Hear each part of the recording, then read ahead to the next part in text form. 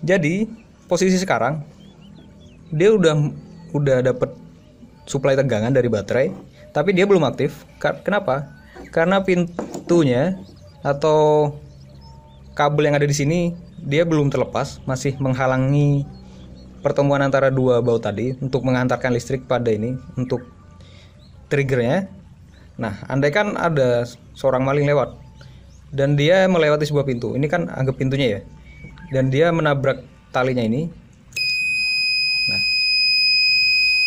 Setelah itu alarmnya akan aktif dan dia tidak akan mati sebelum kita tutup kembali. Nah, seperti itu. Kita coba lagi.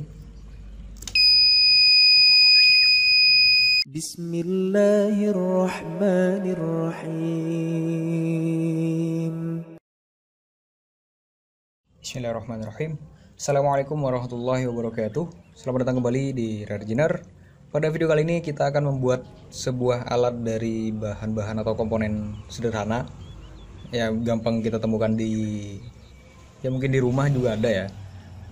Soalnya kita di sini pakai bahan-bahan yang cukup sederhana Dan tentu saja kita pakai komponen elektronika yang mudah kita temukan di toko-toko elektronik.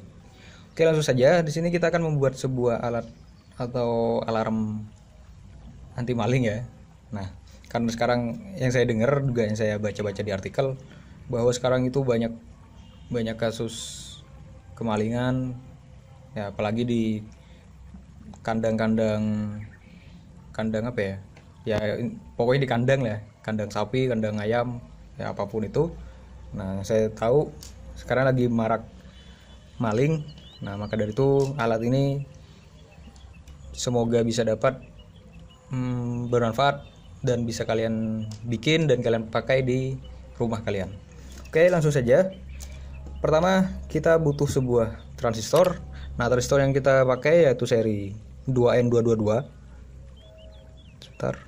Ya 2N222. Nah, untuk transistor ini dia memiliki tiga kaki kan.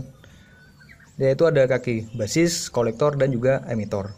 Nah, untuk kakinya dengan seri transistor 2N222 ini bisa kalian lihat di datasheet ataupun cari di gambar Google juga ada sebenarnya. Nah, di sini nah, kita lihat di sini kan ada kayak setengah lingkaran ya. Nah, setengah lingkaran seperti ini. Nah, kaki yang tengah ini sebagai basis dan kaki yang nomor satu ya, yaitu yang paling kiri, paling kiri dari ininya ya, dari setengah lingkarannya itu. Nah, yang paling kiri ini kaki emitor dan yang paling kanan kaki kolektor. Nah, seperti itu. Langsung saja kita solder. Kita pasang dulu ke sini biar mudah untuk kita solder. Dan kita juga butuhkan sebuah resistor dan resistor yang saya pakai yaitu dengan nilai hambatannya 1K. Kita potong terlebih dahulu Oke. Dan kemudian jangan lupa juga diberi timah ya. Oke. Dan kita solder resistornya pada kaki basis ini. Oke, sudah. Selanjutnya kita siapkan juga buzzer.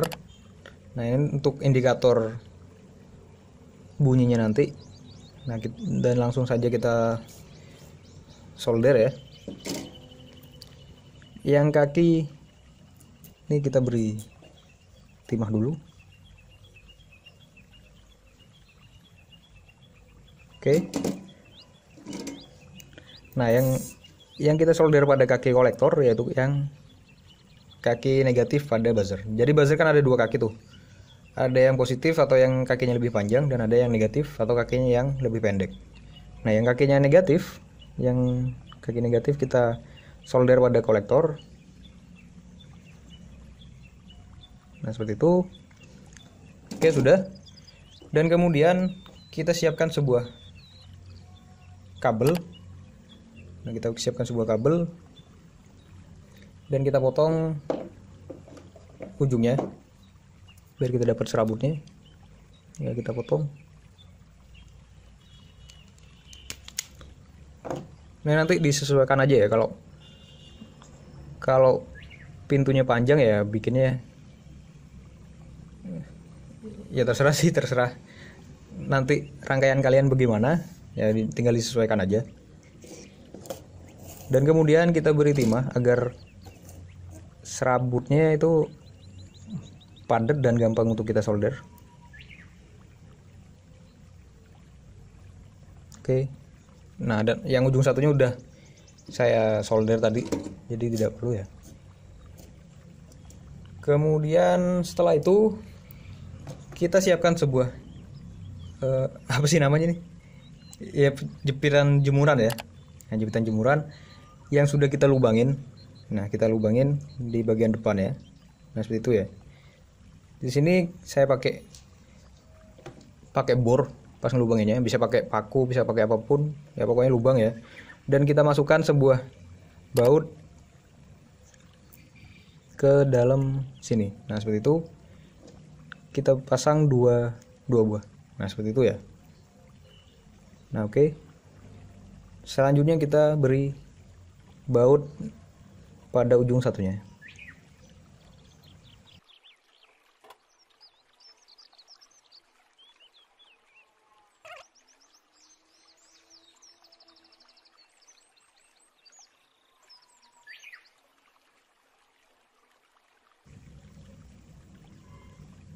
Nah oke sepertinya udah udah cukup kenceng ya. Dan kita ganti aja ini dulu. Nah kita taruh aja dulu ini. Dan sekarang kita akan menyolder jepit jemurannya. Sebelum itu kita beri timah terlebih dahulu ya di ininya. Di murnya. Nah. Dan kita beri kabel nah kabelnya kita solder pada murnya ini. Oke. Ujung satunya juga sama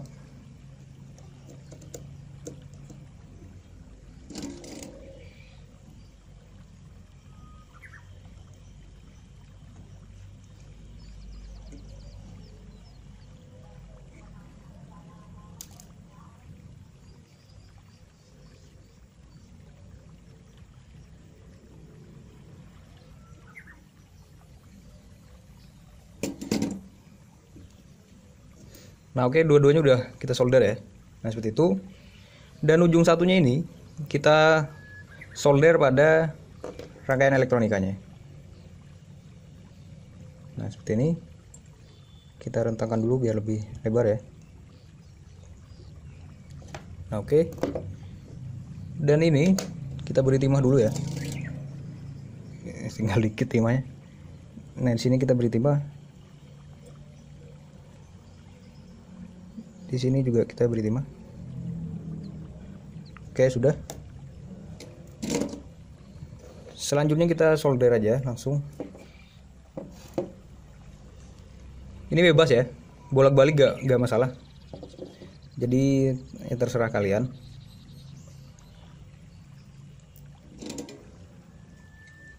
Yang satunya kita sambungkan pada kaki ini yang setelah resistor dan yang kaki satunya lagi kita sambung pada buzzer yang positif tadi. Nah seperti itu. Ya udah selesai. Ini kita potong aja ya.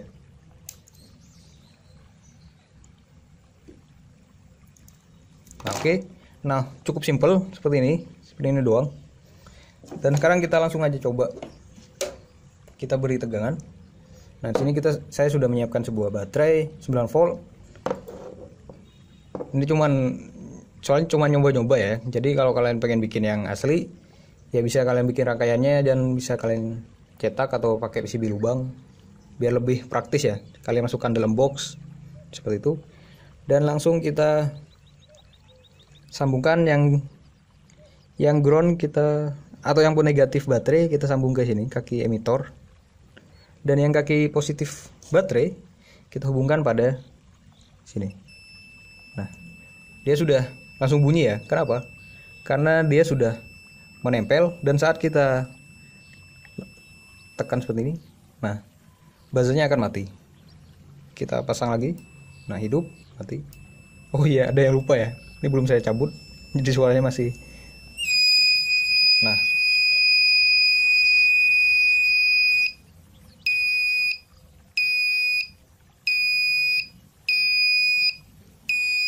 kita cabut dulu nah untuk cara kerjanya jadi cara kerjanya tadi udah kita praktekkan ya. Tapi sekarang kita coba cara kerja realnya. Nah di sini sebentar. Nah di sini anggap di sini ada sebuah pintu ya. Ini pintu ataupun sebuah gerbang kandang gitu. Nah di sini saya sudah menyiapkan sebuah ini anggap ujung pintu. Nah sini saya pakai power supply. Nah ini ada ujung pintu ya. Anggap ini ujung pintu. Sini ini ya. Kita pinggirkan dulu. Dan kemudian kita siapkan sebuah triplek. Nah triplek ini untuk sebagai pemutus jalur yang dari sini. Jalur yang dari sininya. Jadi dia nanti akan aktif kalau ininya terlepas. Nah kalau nah kita pasang dulu. Nah seperti ini. Nah oke. Oh ya sebelumnya ini saya pakai senar ya. Supaya bisa bisa pakai apa aja. Yang penting tuh tipis dan juga kuat. Nah gak gampang putus. Nah ini anggap aja pintu. Nah kita hubungkan pada pintu ini ininya. Nah ini di ujung pintu satunya dan ujung satunya ada di sana. Jadi kan dia belum nyambung ya? Nah kita beri tegangan lagi ini positif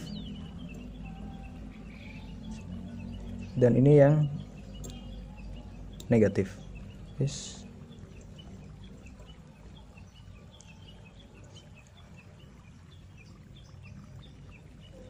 Nah, oke. Jadi, posisi sekarang dia udah udah dapat suplai tegangan dari baterai, tapi dia belum aktif. Kenapa? Karena pintunya atau kabel yang ada di sini dia belum terlepas, masih menghalangi pertemuan antara dua baut tadi untuk mengantarkan listrik pada ini untuk triggernya. Nah, andaikan ada seorang maling lewat dan dia melewati sebuah pintu. Ini kan anggap pintunya ya. Dan dia menabrak talinya ini. Nah. Setelah itu alarmnya akan aktif dan dia tidak akan mati sebelum kita tutup kembali. Nah, seperti itu. Kita coba lagi. Nah, oke. Okay. Mungkin cukup sekian penjelasan dari pembuatan alarm anti maling ini yang cukup sederhana dan mudah untuk kalian buat ya tentu saja semoga bisa kalian buat sendiri di rumah dan bisa kalian terapkan sendiri di rumah-rumah kalian ataupun di kandang yang kalian miliki. Oke, mungkin cukup sekian penjelasan kali ini atau video kali ini juga. Apabila video ini bermanfaat, silahkan klik tombol like dan semoga bisa bermanfaat bagi kita semua. Oke, kurang lebihnya mohon maaf. Wassalamualaikum warahmatullahi wabarakatuh. Alhamdulillahi rabbil alamin.